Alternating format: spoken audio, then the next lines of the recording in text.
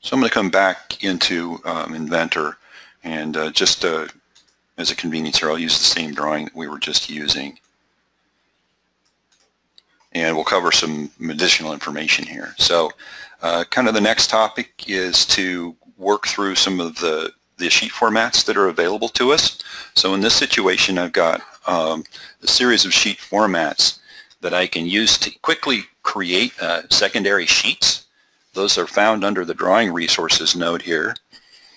And they allow me to go ahead and just quickly create um, a, a, second sheet. Now, there's a bunch of sheets that are available here that are uh, set up for us that come in the template environment, but they may not meet our needs. You can see that they have a, a name associated with them that kind of leads you to believe, uh, to anticipate what you might be able to do um, or get out of these sheets. So if I were to create a secondary uh, sheet here using the B-size 2 views, I just simply right-click and choose New Sheet.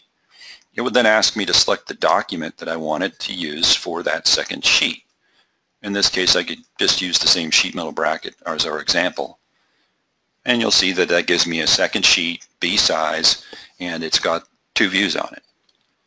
So we can create our own um, sheet formats in this case, and we can use existing drawings to, to do that, to accomplish that. So if we find ourselves creating the same configuration of drawing views frequently, it doesn't make sense for us to start from scratch with a new drawing constantly to do that. Uh, we can just create a new uh, sheet using the sheet formats. I'll go ahead and just switch back to sheet 1 here and we'll delete sheet 2. In this case, maybe I I use this configuration all the time for sheet metal component. Um, and so maybe it makes sense for me to take this particular sheet and actually use it to create a new sheet format. So I can right click on that sheet, the active sheet in the drawing view there, and choose to create a sheet format in this way. I can give it a name, right? This is a C size, so I can either follow the convention that's you know, here or come up with my own. In this case, uh, how many views is that? They'll go ahead and just say uh, standard sheet metal you know, with flat pattern. And as I select OK there, then you'll notice that we do in fact have now a new sheet format that's available to us. Now, uh, just a few things to, to know about this process. Um, there is um, in the creation of that view, it's important to note that if I had any of the views that were off sheet even partially, they wouldn't be included when I use this sheet to create the new format. And that's just one of the, I guess, idiosyncrasies. Maybe there's a reason for it, but I'm not sure what it is. Uh, but it's one of the things that we can uh, we need to know about, right? So if I've got a part that extends, a view that extends off the sheet, it won't be included when I create the new sheet format. So just something to be aware of. Uh, I don't know why you'd be in that situation. I did stumble across that as, as a problem uh, when we're working with a customer to build out some, some templates for these sheet formats. Um, it is documented and that's just the way it works apparently. Um, I have uh, requested uh, something be done about that uh, with regards to maybe an informational message. If you're trying to create a sheet format and there is a view that's off the edge of the sheet, it would at least remind you that it needs to, that it won't be included. So I suppose it might make sense if you've got some transitional views that you've got off the edge that you may not want included. So now we've created this sheet a format that we can use for uh, creating new sheets in another drawing that are similar to this one if we had another sheet metal part. Um, one of the things you might want to do is go ahead and just use that sheet, sheet format to create a new sheet. There are some idiosyncrasies here. I'll go ahead and just accept the, I'll just create a new sheet of the same uh, component again. What you'll notice is that there are some limitations here with the sheet formats in the, in the areas of additional view types. So in this case, this was my sheet metal flat pattern that was taken from the sheet metal flat pattern environment. And it's basically just giving me a view of the folded part now. So that's something certainly to be aware of. That um, In addition to that, the detail view that was taken from this view and the uh, reliefs and the tab that are uh, created here, that detail view hasn't come across either. So there are some limitations with what we can do. That would uh, also hold true for section views. And uh, if you talk about templates, they have the same limitations. So if I've created a template that has some predefined views on it, so that when I go to you know the new button here and create a file using a template, we have some of those same kind of limitations. So just things to keep in mind. This is a, a real convenience, but make sure that you're, you're applying it where it, it's suitable. And don't be surprised by those additional view types not enduring or surviving that uh, sheet format creation method. Okay, so that's a couple things just to, to be aware of. Um, the other things that um, are, are, kind of related to that in a couple different ways. Um, when we have uh, a sheet, so I'm going to go ahead and just go back to our sheet one here, and I'll get rid of sheet two just for clarity.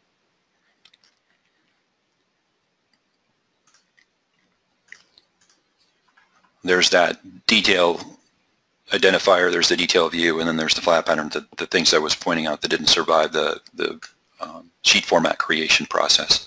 So keep those in mind. Um, one of the things that also tends to be a little bit of uh, troubling is when we do significant updates on a, on a model, especially in an assembly, a drawing of an assembly, we could end up with broken annotations. And so um, some of the things that we might want to consider here is there's that detail view. And if I were just to take this detail view, um, grab it by its center and then pull it off the edge, you'll notice that it's refusing to move off the edge. Right? It's staying where it's been put. And that's because I've applied a, um, I've fixed it down. So in this case, that view is fixed so that I'm not breaking the annotations that are here. And let me just remove or detach that view from its source. And you'll find that, see, this is the behavior that I'm trying to avoid, right? I end up with details, uh, dimensions that are added here that now are now orphaned because the geometry is no longer within the view boundary. If I were to make the uh, that particular view boundary a little bit larger so that those edges came back, then you'd see it would solve. It's fairly robust from that perspective. Um, if it can't find the dimensions, then we, what we would like to do is we'd like to know that and we'd like to have that called to our attention, which is exactly what's happening here. It's trying to attach the, the dimensions to the geometry um, after the edit to the view. It's unable to, and so it's highlighted those dimensions for us and then given us the, uh, a message here basically saying that uh, it's unable to reattach the dimensions and it calls out what those dimensions are. So the key thing here is to make sure that if you've got a detail view, you really want it to stay put and have it attached to the geometry that it's annotating. So that's done with just a simple right click on the view identification circle there, choosing attach, and then identifying a location to attach it to. Now, I would prefer to attach maybe this uh, this view detail to the middle of this edge. We don't yet have that capability, so you notice I'm getting just endpoint snaps that I can use. So just select the endpoint that's you know best uh, embodies the attachment that you want to make. And once that's done, now I can uh, as that model were to update, if it were to get longer or shorter, in this case I'll go ahead and just accomplish that. I'll right click on the view that's here and I'll open up the model itself. And then in the modeling environment I'll just simply make an edit to the sketch. We'll make that longer. so that that annotation view will uh, move around a bit. So in this case, when I move back into the drawing, uh, by the way, navigating between the, a model and a drawing can be done pretty easily just by right-clicking up at the top of the browser here and then choosing to open drawing. If that drawing's not already open, it will be opened up and uh, placed into, the, in, into your view. So in this case, because I've attached that orientation or the, the detail view to this edge. As that feature moved out and the view grew, then that detail um, moved with it because it was attached to the geometry that's there. So having the these type of uh, supplementary or projected views respect the edits, uh, it's a good idea to do attaching with that uh, with that detail view in this case. The other thing that comes into play here is uh, and can contribute to some of those issues is the view orientation type. So if we take a look at our display options for a particular view, so I just double clicked on a view and went to display options, you'll notice that we have uh, an option for view justification. In this case, the default for Inventor is to have that view justification centered. What that means is that the view boundary will resize and then center itself, which could actually lead to more broken annotations if you weren't careful.